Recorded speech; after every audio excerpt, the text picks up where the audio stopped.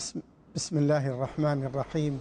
الحمد لله رب العالمين والصلاة والسلام على قائد الغر المحجلين نبينا محمد وعلى آله وصحبه أجمعين. اللهم علمنا ما ينفعنا وانفعنا بما علمتنا وزدنا علما يا كريم. نرحب بالإخوة والأخوات أجمل الترحيب مع هذا اللقاء الطيب المبارك الذي يجمعنا بفضيلة الشيخ العلامة صالح بن فوزان الفوزان عضو هيئة كبار العلماء وعضو اللجنة الدائمة للإفتاء والذي سيجيب مشكورا على أسئلتكم واستفساراتكم في هذا اللقاء الطيب المبارك. السلام عليكم يا شيخ صالح ورحمة الله وبركاته. وعليكم السلام ورحمة الله وبركاته. هذا سائل يقول يا شيخ أرجو أن تشرحوا لي الآية الكريمة في قوله تبارك وتعالى أعوذ بالله من الشيطان الرجيم. ثاني اثنين إذ هما في الغار إذ يقول لصاحبه لا تحزن إن الله معنا وما المناسبة؟ بسم الله الرحمن الرحيم. الحمد لله رب العالمين. صلى الله وسلم على نبينا محمد وعلى آله أصحابه أجمعين. هذه الآية الكريمة في شأن في شأن هجرة رسول الله صلى الله عليه وسلم وانتقاله من مكة إلى المدينة بعدما هاجر أصحابه رضي الله عنهم إلى المدينة بأمره صلى الله عليه وسلم. وكان هذا بعد مبايعة الأنصار من أهل المدينة رضي الله عنهم من الأوس والخزرج بايعوه عند جمرة العقبة على أن يهاجر إليهم وأن يمنعوه مما يمنعون منه أولادهم وأهليهم بعد أن اشتد أذى قريش عليه صلى الله عليه وسلم يسر الله له الأنصار رضي الله عنهم في المدينة. فهاجر من مكة إلى المدينة مع محبته لمكة. أشد الحب. هذا قال صلى الله عليه وسلم لما خرج منها والتفت إليها وقال والله إنك إن إنك لأحب البلاد إلي ولولا أن قومك أخرجوني منك ما خرجت. خرج صلى الله عليه وسلم مختفيا لئلا يمنعه المشركون. خرج مختفيا هو وصاحبه أبو بكر الصديق رضي الله تعالى عنه مختفيين في الليل وذهب إلى غار في جنوب مكة يقال له غار ثور. فاختفيا فيه حتى ينقطع عنهما الطلب وواعد رجلا يقال له ابن أغريقط الليثي وكان من المشركين لكنه تعاقد مع رسول الله صلى الله عليه وسلم وصاحبه على أن يدل أن يدلهما الطريق إلى المدينة. وكان هاديا خريتا في معرفة الطريق إلى المدينة. فخرج ليلا من مكة واختفيا في غير ثور حتى ينقطع عنهما الطلب. فخرج المشركون يطلبون رسول الله صلى الله عليه وسلم ليمنعوه من الذهاب إلى المدينة. حينما تآمروا على ذلك كما في قوله تعالى وإذ يمكر بك الذين كفروا ليثبتوك أو يقتلوك أو يخرجوك.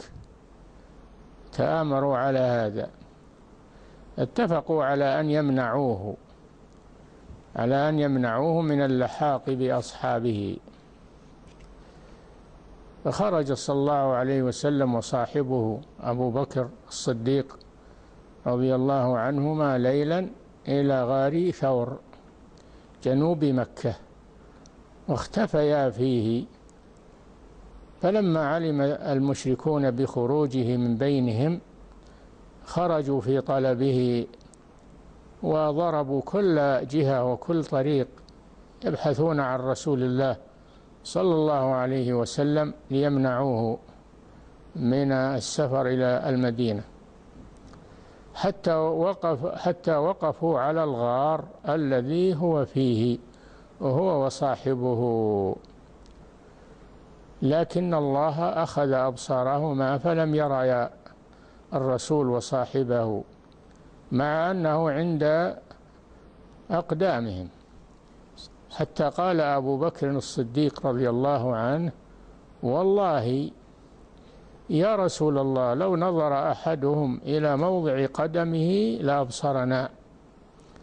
فقال النبي صلى الله عليه وسلم مطمئنا صاحب صاحبه لا ما ظنك يا أبا بكر باثنين؟ الله ثالثهما. يعني في الحماية والنصر والتأييد معية خاصة.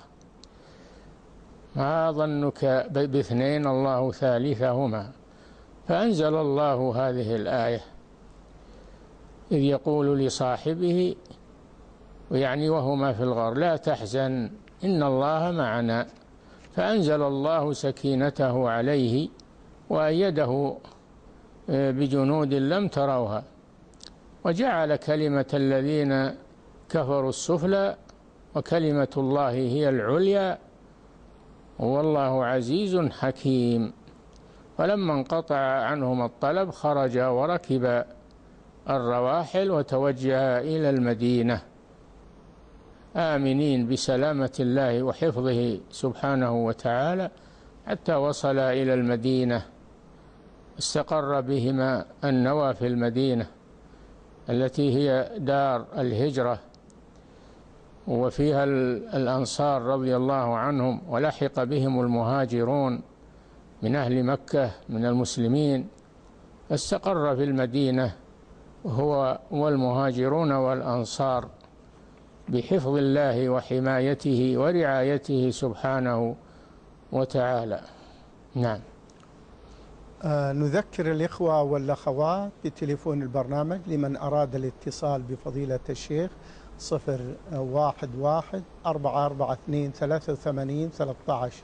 صفر واحد واحد أربعة أربعة اثنين ثلاثة وثمانين ثلاثة عشر.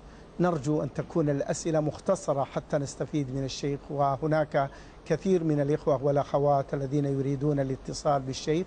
نرجو أن تكون الأسئلة واضحة ومختصرة أيضا تكون في محيطنا الشرعي. أه، تفضل معنا أبو خالد على الخط. نعم. السلام عليكم ورحمة الله وبركاته. وعليكم السلام ورحمة الله وبركاته. وعليكم السلام. أحبك الله يا شيخ والله يحبكم يا المشايخ كلكم عموم الله. جزاك الله خير. سؤالك يا أبو خالد. جزاك الله خير السؤال الأول يوم أني شباب عمري فصل في نحلة أيمان كثيرة بعضها صادق وبعضها كذاب وأريد أن أكفر عن هذه الأيمان كيف أسوي؟ طيب. وأنا لا أحسن عددها كم. اسمع الإجابة أبو خالد. لحظة. طيب. يا أخي ما نعرف الأيمان وش عليه وش حلفت عليه. لو أنه مغار عطني الحاجة دي وراك. أقول والله ماني جايبها وأروح أجيبها. ولا يقول أنت سويت كذا وكذا أقول لا ما سويت وحلف وأنا مسويها. إيه. والله اللي تذكر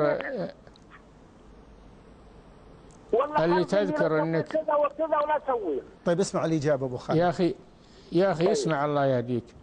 اللي طيب. تذكر طيب. من أيمانك إنك حلفت عليه أيوة. إنك ما تفعله أو إنك تفعله؟ تكفر عنه. بإطعام عشرة مساكين أو كسوة عشرة مساكين أو عتق رقبة. فإذا لم تجد تصوم ثلاثة أيام. عن كل يمين حلفتها على أنك ما تفعل أو أنك تفعل هذا الشيء. نعم. السؤال الثاني ناخذ سؤالك الثاني. طيب. وإن كاني ما أعلم منها شيء معلوم كيف أسوي؟ يعني إذا ما تعلم إذا ما تعلم شيء اصبر الله يهديك. إذا ما تعلم شيء ما عليك شيء. الحمد لله. طيب عندي أم العيال. فترت ثلاث سنوات بعذر شرعي وقضتها بعد فترة طويلة. وتبت تصدق. كيف تصدق؟ هل تجوز توديها الجمعية الخيرية أو تجوز كيف؟ ثلاث أشهر عندها. وهي قضت الاشهر بس باقي الأطعام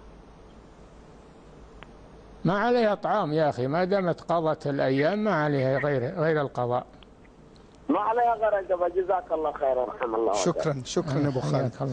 طيب الوس- الوساوس اللي تجيني في الصلاة هل يجوز أجبرها بركعة السجود؟ لا اتركها لا تهمك أقبل على صلاتك واتركها. وتذهب عنك بإذن الله. اللهم يرحمك. ويجمعنا في جنة الخلد. آمين. جزاك الله خير. شكرا. شكرا. شكرا لك شكرا لك. بارك الله فيك.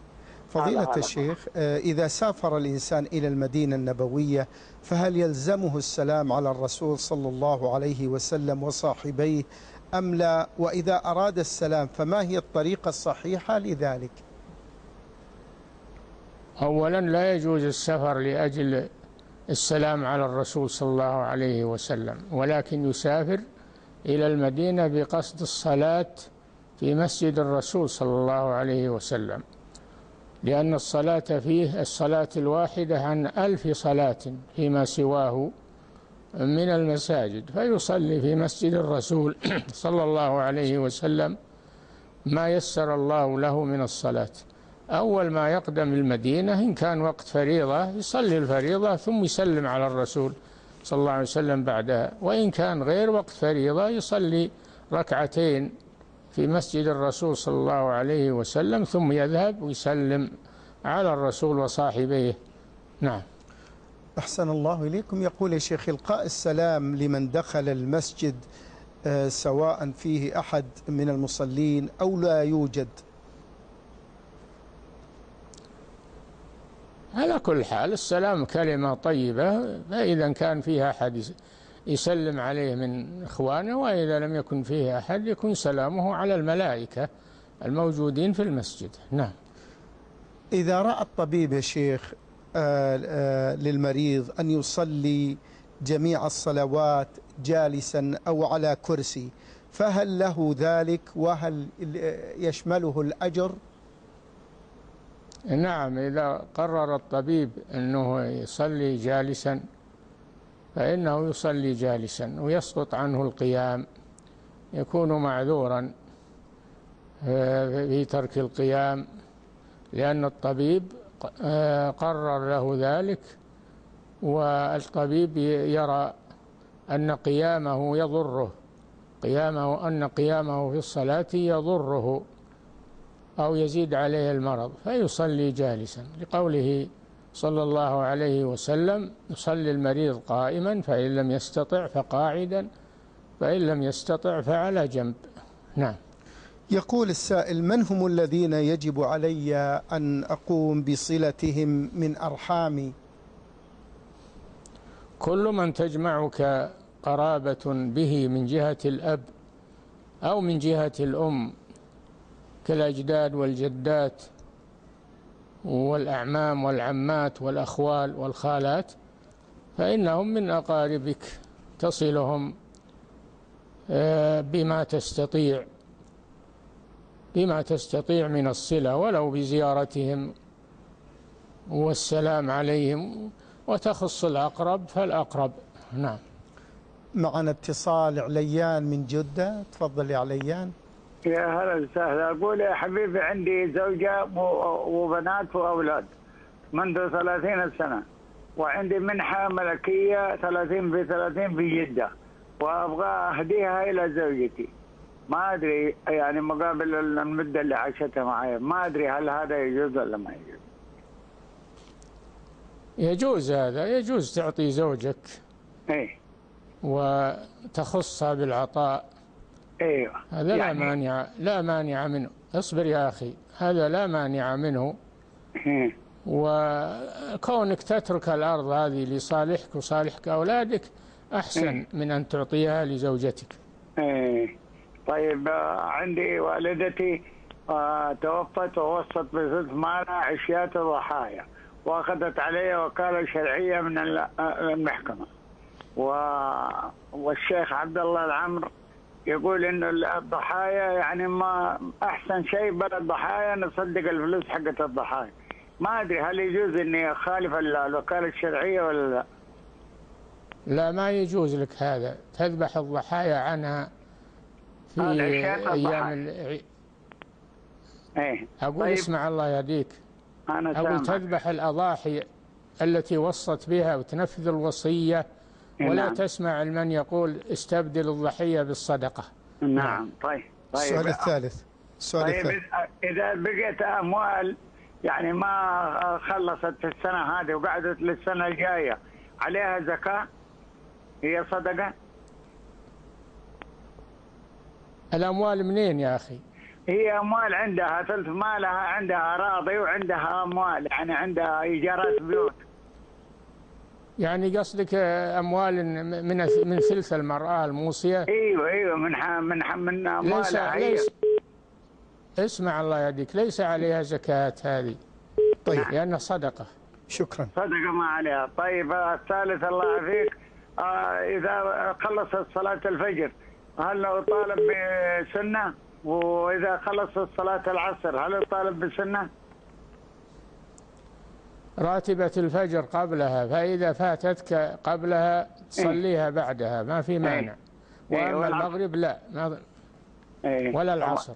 شكرا. الله يعافيك الله يعافيك. بارك الله فيك. هذا بارك الله فيك. شخص يرد الخطاب يا شيخ طمعا في رواتب بناته المدرسات وبعضهن معيدات وقد تعدينا الخامسة والثلاثين فهل له ذلك؟ لا يجوز له ذلك. هذا عضل لبناته عن الزواج من أجل أن أن يأخذ رواتبهن. هذا ظلم وعضل ولا يجوز له ذلك. وحرام عليه ما يأخذ من المال على هذا الشكل. نعم. فضيلة الشيخ يقول عندي أرض منحة من عشرين سنة هل عليها زكاة؟ إذا أنك تنويها للتجارة بعد ما ملكتها فإنك تزكيها كل سنة بما تساوي الأرض في وقت وجوب الزكاة. أما إذا كنت مبقيها لا تريد بيعها وإنما تريد بقاءها عقارا لك هذه ليس فيها زكاة. نعم. ما الدعاء المشروع عند هبوب الريح؟ يدعو الله أن أن يكف ضررها عنه وأن يعطيه من خيرها. نعم. ما حكم المرور بين يدي المصلي؟ المرور بين يدي المصلي في حدود آه، ثلاثة آه، في حدود ثلاثة أذرع. بينه وبين سترته لا يجوز المرور. بينه وبين سترته في حدود ثلاثة أذرع. بل يمر من وراء السترة. نعم. فضيلة الشيخ إلا إذا كان في الم... إلا إذا كان في المسجد الحرام وفيه زحمة فلا مانع من المرور لأجل الحاجة إلى ذلك. نعم.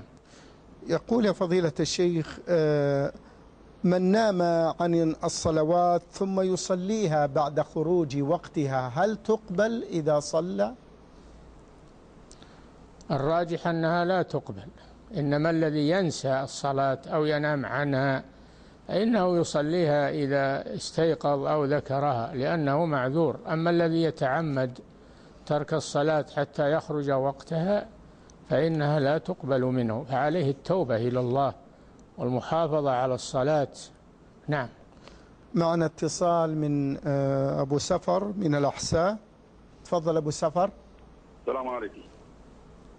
وعليكم عليكم السلام. السلام. يا شيخ الصلاة على الجنازة في الحرم هل تعد بمائة ألف صلاة؟ والقراط بمائة ألف قراط شكرا. يا أخي في كل مكان الصلاة على الجنازة وتشييع الجنازة فيه الأجر سواء في الحرم أو في غيره. نعم. أحسن الله إليكم. ما الفرق يا شيخ بين التراويح وقيام الليل؟ وهل هي خاصة برمضان؟ تراويح خاصة برمضان. قيام الليل عام في رمضان وفي غيره ومنه صلاة التراويح في رمضان. نعم. هذا يسأل ويقول فضيلة الشيخ صالح الفوزان استخدام الوسائل التعليمية من فيديو لتدريس المواد الشرعية كالفقه والتفسير والفرائض وغيرها من المواد الشرعية؟ العلم لا بد أن يتلقى عن العلماء الحضور بين أيديهم. سواء كانوا في المدارس والمعاهد والكليات أو كانوا في حلق الذكر في المساجد. لا بد من الحضور بين أيديهم وتلقي العلم عنهم وسؤالهم عما أشكل. لكن إذا نظر في الوسائل الإعلام وفيها شيء من العلم يستفيد. أما أنه يقتصر يعتبر هذا هو طلب العلم لا. نعم. ما الذي ينبغي للمسلم وهو يستعد لاستقبال شهر رمضان أن يتهيأ به؟ يتهيأ بالاستبشار بشهر رمضان. يسأل الله أن يبلغه شهر رمضان وأن يعينه على صيامه وقيامه. نعم. يقول يا شيخ بالنسبة لقراءة الفاتحة مئة مرة قرأنا بأنها تقرأ مئة مرة لقضاء الحوائج ورد الغائب وغيرها. هذا أمر باطل ومنكر ولا يجوز لأنه لم يرد به دليل من كتاب الله ولا من سنة رسوله صلى الله عليه وسلم وإنما تقرأ الفاتحة في الصلاة. لا صلاة لمن لم يقرأ بفاتحة الكتاب وتقرأ الفاتحة رقية على المريض أو على نفسه نعم. يقول السائل يا شيخ هل هناك كفارة لمن مات وعليه صلاة وصيام لم يقضيها؟ وما الكفارة؟ الكفارة الصلاة لا تقضى لا يصلي أحد عن أحد. وأما الصيام فيصوم عنه وليه وقريبه كما قال صلى الله عليه وسلم من مات وعليه صيام صام عنه وليه. وفي رواية من مات وعليه صيام نذر صام عنه وليه. تدخله النيابة. الصيام تدخله النيابة. أما الصلاة فلا تدخلها النيابة. نعم. وبالنسبة للصيام الجماعي بالنسبة للعائلة يصومون يوم ويفطرون يوم. الاتفاق على هذا لا يجوز. هذا بدعة الاتفاق. وأما إذا صامه بمفرده ولا يرتبط بالآخرين فهذا سنة صوم يوم الجمعة. نعم. نعم, نعم. يصومون يوم, يوم يصومون لا نعم. يصومون يوم ويفطرون يوم. أي هذا لا بأس. هذا صيام داود عليه السلام. ولكن لا يصومون صوما جماعيا ويتفقون على هذا. كل يصوم بنفسه ومفرده. وإذا صادف أنهم يفطرون جميع أو يتسحرون جميع من غير اتفاق على هذا فلا مانع. نعم. طيب نأخذ عبد الله من جدة. تفضل يا عبد الله السلام عليكم ورحمة الله وبركاته. وعليكم السلام. وعليكم السلام. الله وبركاته. فضيلة الشيخ عندي سؤالين. تفضل. السؤال الأول أفطرت في رمضان قبل 25 سنة ولكني ما أدرك عدد الأيام اللي أفطرتها فهل علي شيء؟ تقدرها يا أخي تقدرها بما يغلب على ظنك وتقضيها. وتطعم عن كل يوم مسكين عن التأخير. نعم. السؤال الثاني عبد الله؟ السؤال السؤال الثاني بارك الله فيك. عندي مواشي ومكلوفة على طول السنة. أكلفها يعني ما ترعى في المراعي. فهل فيها زكاة؟ الزكاة في قيمتها إذا بعت منها شيء وحال الحول على قيمته فإنك تزكيها. نعم. شكرا يا عبد الله. شكرا بارك الله بارك الله فيك. فضيلة الشيخ الوضوء لصلاة الجنازة. نعم صلاة الجنازة مثل صلاة الفريضة والنافلة. لا تصح إلا بوضوء. ما تصح من الإنسان على غير وضوء أن يصلي على الجنازة. نعم. حديث لا يرد القدر إلا الدعاء. نعم. الدعاء من القدر والقدر يدفع بالقدر.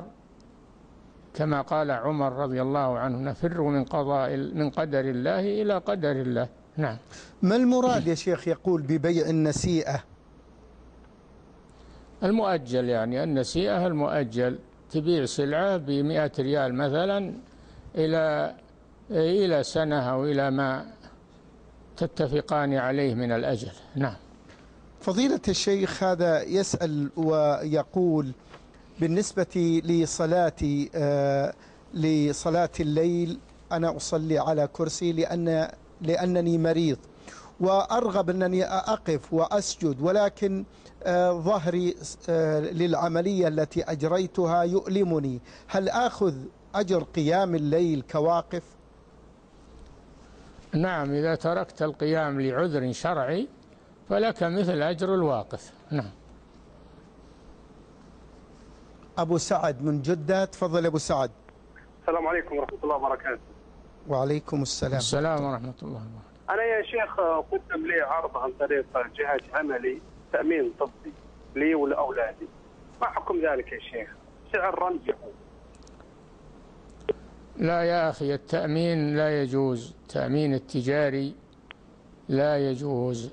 ولكن يا لأنه أكل, أكل للمال بالباطل. يا شيخ الوضع الصحي في الآونة الأخيرة أنت شايف شلون؟ أنا جاني مولود سابق وتبهدلت في المستشفيات ما بين مستشفى ومستشفى. هذا مجرد مبلغ رمزي ونروح مستشفى خاص وانتهى الإشكال. لا يا أخي ما يجوز التأمين التجاري ما يجوز. نعم. شكرا شكرا يا أخي. جزاك الله فض... فضيلة الشيخ هذا يسأل ويقول ما معنى الحديث إن الرقى والتمائم والتولة شرك؟ حديث واضح. الذي الذي يعتمد على الرقى والتمائم والتولة يعتمد عليها وأنها تشفي بدون إذن الله هذا شرك كما قال النبي صلى الله عليه وسلم. أما الرقى الشرعية فإنها ليست شركا إذا كان يتخذها سببا من الأسباب ولا يعتمد أنها هي التي تشفيه. وأما التمائم فلا يجوز. هو تعليق مثلا الخرق أو تعليق الكتابات يعتقدون أنها تدفع البلاء. هذا هذه لا تجوز هذه تميمة ولا تجوز. والتولة شيء يصنعونه يظنون أنها تحبب الزوج إلى زوجته والزوجة إلى زوجها وهذا أمر باطل. نعم. أحسن الله إليكم. يقول يا شيخ هذا السائل آه، في الآية الكريمة أرجو أن تشرحوها ادع إلى سبيل ربك بالحكمة والموعظة الحسنة وجادلهم بالتي هي أحسن. نعم هذه الآية في بيان كيفية الدعوة إلى الله عز وجل. فالجاهل يدعى بالحكمة ويبين له الحكم والجدال يكون مع الذي تبين له الحكم لكنه لا يعمل به. فهذا يجادل بالتي هي أحسن. والعقوبة إذا أصابك شيء من آه، من إنسان أصابك إصابة من إنسان فلك القصاص بمثل ما أصابك. نعم. أحسن الله إليكم. فضيلة الشيخ آه هذه سائلة تقول آه حديث من مات وعليه صوم صام عنه وليه. الشيء الذي نعرفه أنه محمول على صوم النذر لكن ذكر آه بأن هذا عن طريق أحد الكتب آه نرجو أن تبينوا حديث من مات وعليه صوم صام عنه وليه. نعم الحديث عام سواء صوم النذر أو صوم من رمضان عليه قضاء من رمضان. الحديث عام أنه يستحب لوليه أن يصوم عنه ويبرئ ذمته. نعم. امرأة تشتكي من ألم في بصرها. الأطباء قرروا قطرات ثلاث مرات في اليوم إذا ترك إذا تركت هذه القطرة آلمتها ففي خلال رمضان هل يجوز لها وضع القطرات على عينها في النهار؟ لا بالنهار ما تضعها لأن العين منفذ يذهب إلى الحلق. نعم الشيخ. ولكن تعملها بالليل. نعم تعملها بالليل. نعم. معنا الشيخ؟ نعم. آه ما زلنا معكم أيها الإخوة والأخوات على الهواء مباشرة.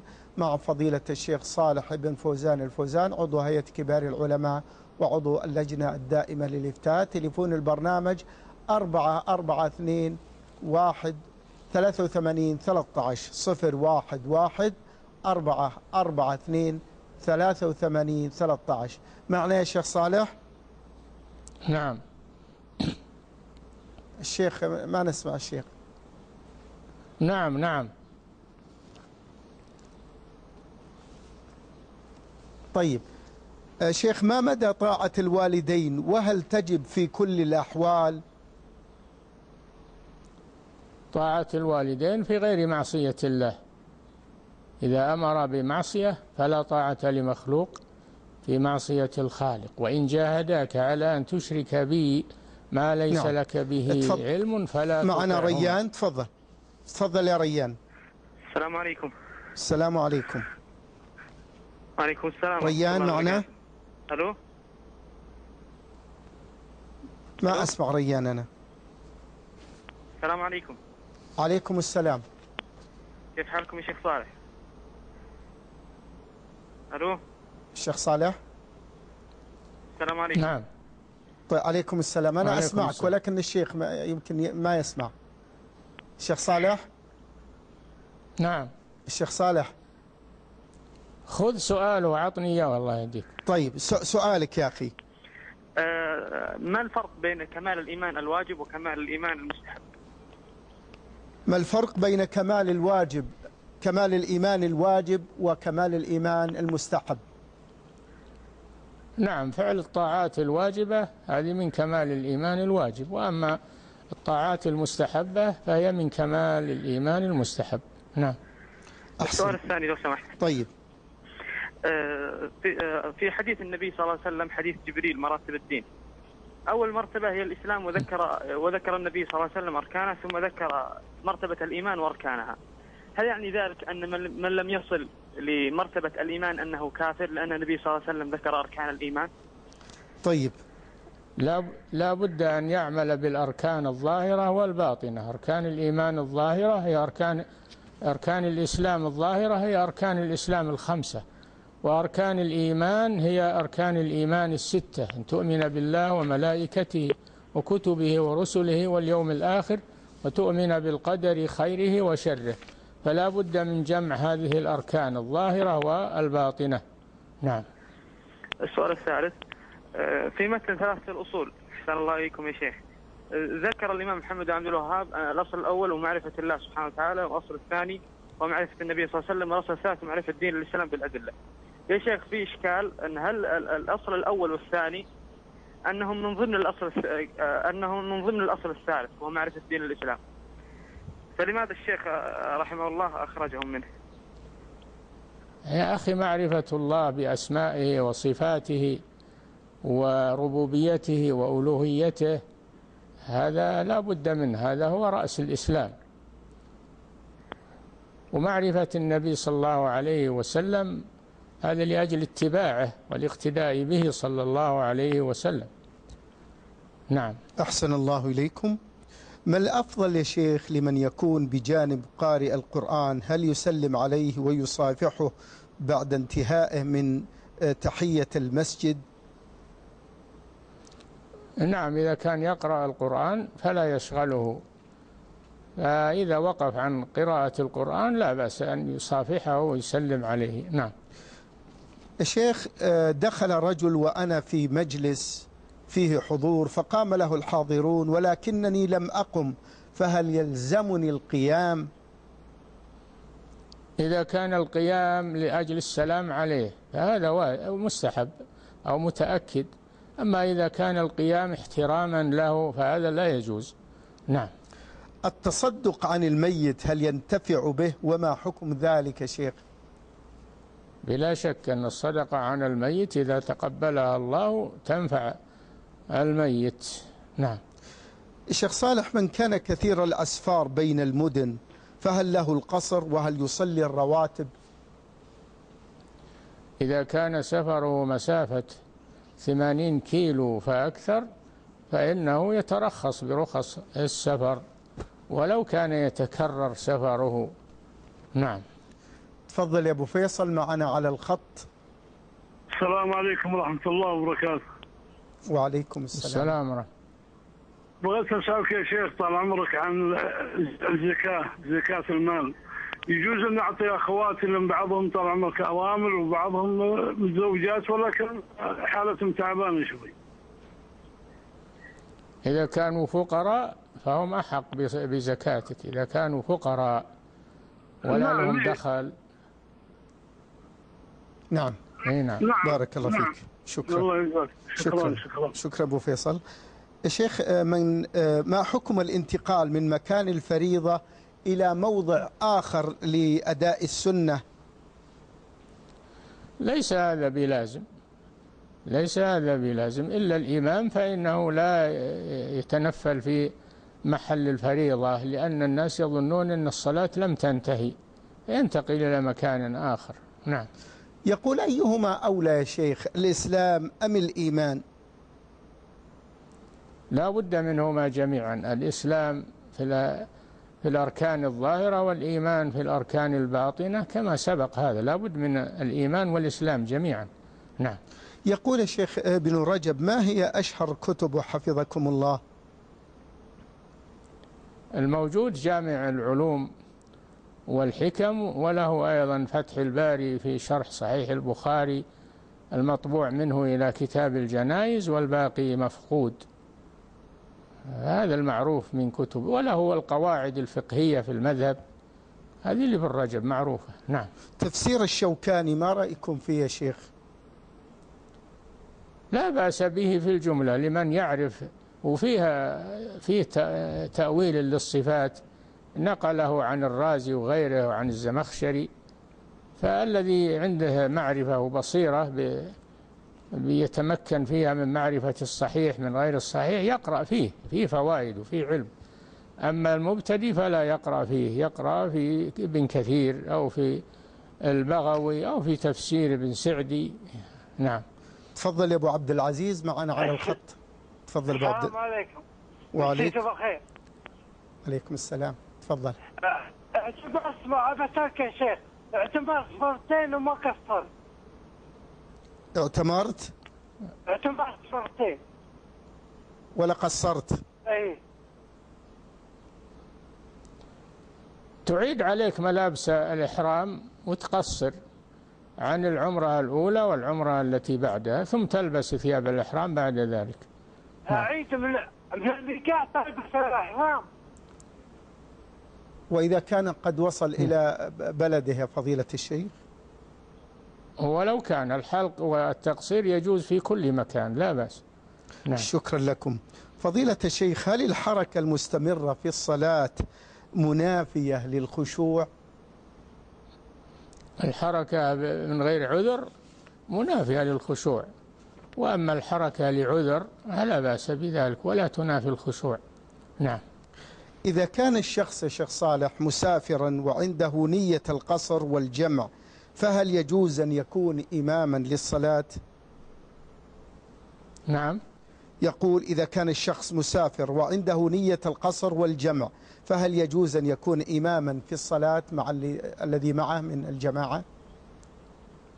إن كانوا مسافرين مثله فيقصرون معه ويجمعون أما إن كانوا مقيمين فيصلون معه وإذا سلم من ركعتين يقومون ويتمون لأنفسهم كما فعل أهل مكة خلف رسول الله صلى الله عليه وسلم في حجة الوداع.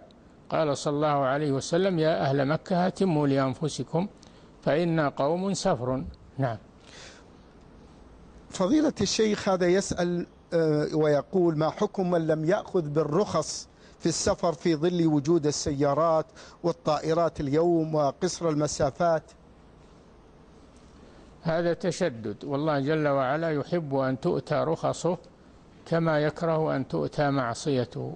فالمسافر يأخذ برخص السفر وهذا أفضل له من تركها. نعم. معنا اتصال. قرمان من خميس مشيط. تفضل. السلام السلام عليكم ورحمة الله وبركاته. وعليكم السلام ورحمة عليكم الله السلام. وبركاته.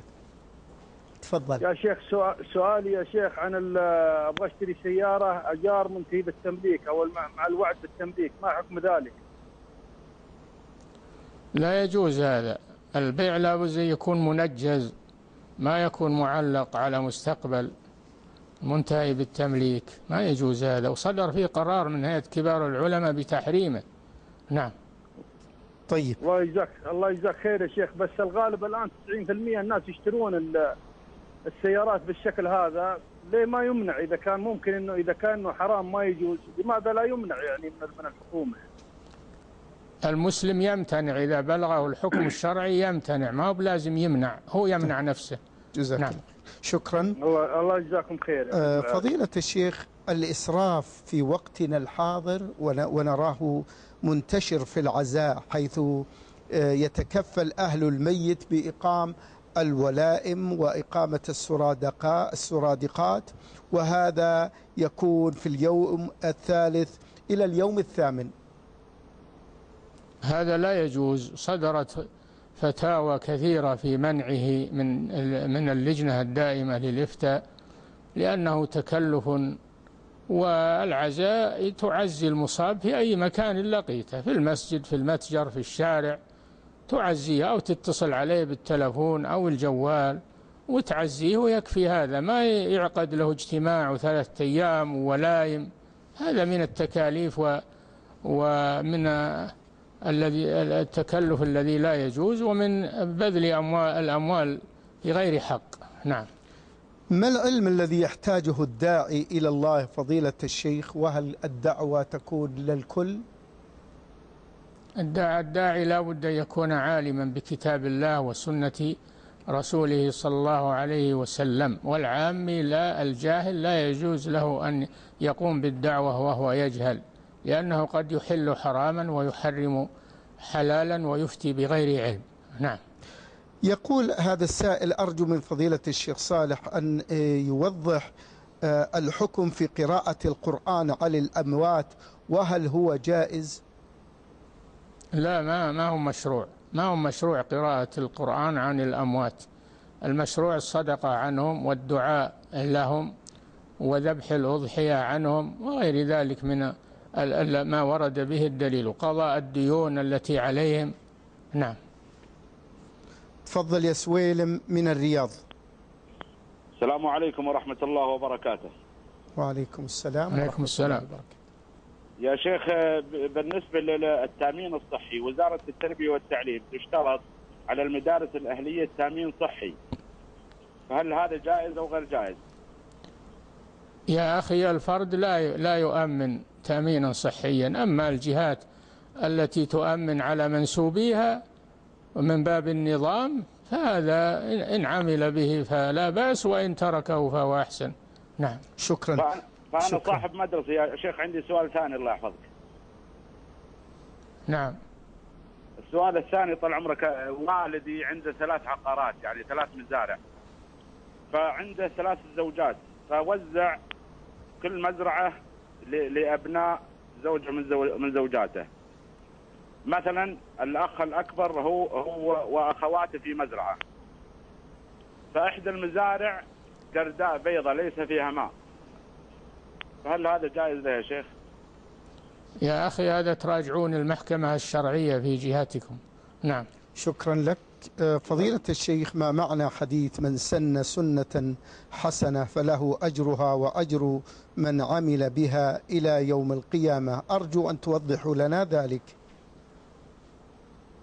من سن سنة حسنة يعني عمل بسنة عمل بسنة ثابتة عن الرسول صلى الله عليه وسلم وقد تركها الناس أو أو نسوها فإنه يحييها. وليس معناه أنه يحدث من عنده شيء ويقول هذا السنة حسنة هذه بدعة سيئة. فالسنة الحسنة هي إحياء السنن التي تركها الناس ليذكرهم بها. ويقتدوا به فيها. نعم. تفضل يا خالد معنا من الجوف. السلام عليكم. وعليكم السلام. عليكم السلام. يا شيخ أحبك بالله. جزاك الله حبك الله. يا تفضل شيخ طال يا شيخ طال عمرك آه، سألنا أحد الشباب الموجودين. فقال إن الأراضي المقدسة ثلاثة. فقلت لا أربعة وجبت دليل من القرآن. فأخلعنا عليك فإنك في الوادي المقدس طوى. هل هذا صحيح يا شيخ؟ لا ما هو صحيح. ال ال ال الأراضي التي تشرع زيارتها والصلاة فيها هي المسجد الحرام والمسجد النبوي والمسجد الأقصى. المسجد الأقصى. نعم. شكرا. ما حكم يا شيخ مس المصحف بدون وضوء أو نقله من مكان إلى آخر؟ إذا كان المصحف في وعاء فلا بأس بمس بحمل الوعاء بحمله في وعائه ونقله. أما إذا كان المصحف ليس في وعاء فلا يمسه مباشرة وإنما يمسه من وراء حائل ما دام أنه على غير طهارة. نعم. يقول السائل يا شيخ صالح آه، يخطر على بال الإنسان ويتردد كثير الحقيقة من الوساوس والخواطر وخصوصا في المجال العقدي. هل يؤاخذ على ذلك؟ الوساوس لا يؤاخذ عليها. قال صلى الله عليه وسلم "عو- عفي لأمة الخطأ والنسيان وما حدثت به أنفسها ما لم تتح... ما لم تتكلم أو تعمل. نعم. يا شيخ صالح يقول هذا السائل ما رأي الشيخ في هذه العبارة التي تتردد على الألسنة كثيرا وخصوصا من طلاب العلم؟ من كان شيخه الكتاب ضل عن صوابه؟ نعم العبارة معناها صحيح. معناها صحيح أن الإنسان لا يأخذ العلم عن الكتب وعن الجوالات وعن المواقع. لا بد أن يحضر بين يدي المدرسين في في المدارس أو في المساجد ويتلقى العلم عنهم بسماعه منهم. نعم. هذه السائلة تقول هل يجوز للحاج أو الحاجة أو المعتمرة والمعتمرة أن يسعى ماشيا في بعض الأشواط وراكبا في البعض الآخر؟ لا بأس بذلك يركب في بعضها طيب. و... ويمشي في بعضها. نعم لا بأس. تفضل يا حسين معنا على الخط. السلام عليكم. وعليكم السلام. عليكم السلام. مساكم الله بالخير.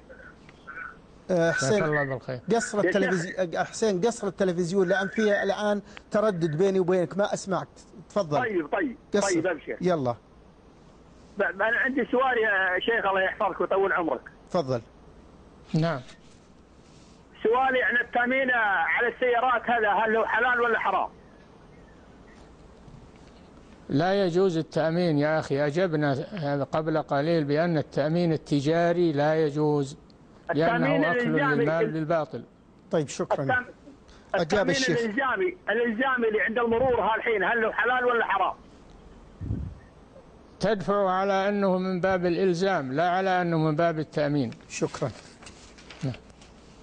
فضيلة الشيخ من الأسئلة التي وردت آه، هذا سائل يقول فضيلة الشيخ الإنسان إذا أقبل عليه شهر الصوم وعليه قضاء من العام الماضي من شهر رمضان آه، العام الماضي فماذا يلزمه؟ إن كان بقي من شهر شعبان قدر الأيام التي عليه من العام الماضي فيجب عليه أن أن يبادر بقضاء الأيام التي عليه من الماضي. أما إذا وصل شهر رمضان فإنه يؤجله إلى ما بعد رمضان ويكفر عن كل يوم إطعام مسكين مع القضاء إذا كان تأخيره بتفريط منه. أما إذا كان تأخيره لعذر فليس عليه إلا القضاء. نعم. أبو عبد الله يقول يا شيخ إذا كبرت تكبيرة الإحرام منحنيا لكنني إلى القيام أقرب مني للركوع. فهل تصح صلاتي أو تكون نافلة؟ لا يجوز. إن كان إنك معذور في الانحناء فلا بأس. أما إن كنت إن كنت غير معذور فلا بد أن تكون معتمدا واقفا تكبر تكبيرة الإحرام بهذه الحالة. ثم تنحني. نعم. في فقرة الله يقول يا شيخ ما هي الأحوال التي تنقلب صلاة الفريضة نافلة؟ بالنية إذا إذا نوى كان في فريضة ثم نواها نافلة ففي أثنائها فلا بأس بذلك. أما أن يكون في في نافلة وينويها فريضة فهذا لا يصح. نعم. آه، فضيلة الشيخ هذا السائل يقول متى يقدم قول الرسول صلى الله عليه وسلم على فعله؟ ومتى نقول بأن هذا خاص بالرسول صلى الله عليه وسلم دون غيره؟ يا أخي راجع كتب الأصول في هذا. راجع كتب الأصول وتعرف هذا. نعم. تفضل يا فلاح. السلام عليكم. عليكم السلام. السلام عليكم. وعليكم السلام. عليكم السلام. آه، لو لو سمحت يا شيخ عندي آه، اولا ما ما رأيك في من يقول أن ال- الدين يؤخذ بالعقل وأن الله أعطى إنسان عقلا يفكر فيه ويستنتج الحرام آه، من الحلال؟ ولا داعي لسؤال العلماء و- وللدعاء. السؤال الثاني يا هذا شيخ كلام- آه، لحظة. هذا كلام باطل يا أخي. الدين ما يؤخذ من العقل الدين يؤخذ من الكتاب والسنة. وما أشكل عليك اسأل عنه أهل العلم. ولا يجوز أن تأخذ بعقلك. نعم. السؤال الثاني فلاح السؤال الثاني يا شيخ ما رأيكم في من يتكلم بأن آه، الشيخ البخاري إمام المحدثين أنه رجل ولم يعني يعصم وأنه يؤخذ منه ويرد وهكذا ومن هذا الحديث. يا أخي ما هو بل يؤخذ به كلام البخاري؟ يؤخذ بحديث الرسول صلى الله الذي عليه وسلم. يرويه البخاري. يؤخذ كلام الرسول من رواية البخاري. لا بأس. أما أنه يؤخذ كلام البخاري قضية مسلمة يؤخذ منه ما وافق الدليل. نعم. جزاك آه، الله خير. شكرا. فلاح.